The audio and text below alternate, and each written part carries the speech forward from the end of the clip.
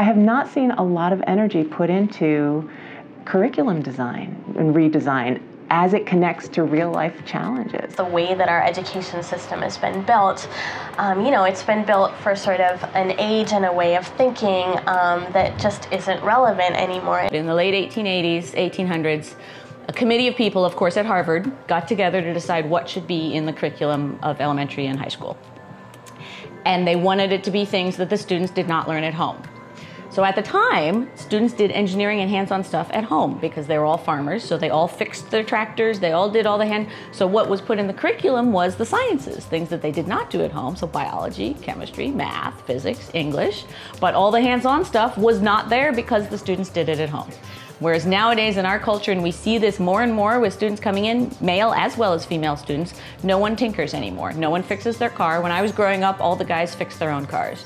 No one fixes their own cars now. There is no hands-on stuff, and it's not in the curriculum because back when the curriculum was developed, they did do it at home.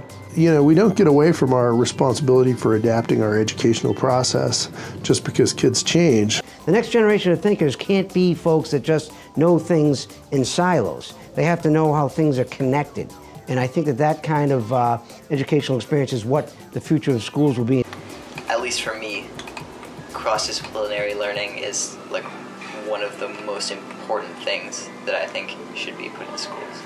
In a conversation between a policymaker and a teacher and a designer say, I can imagine the um, problems that exist in current classrooms bubbling to the surface as something to engage with. And of course, those problems are important. But for example, rather than solving the problem of how to make better tests, I think that we should be asking the question, what can replace the current notion of standardized testing? We really need to liberate teachers from the assumption that teaching to lower order skills is going to get students to do well on exams. You know, there's, uh, there are too many, too many places where it's convenient just to kind of let it go without thinking about the future.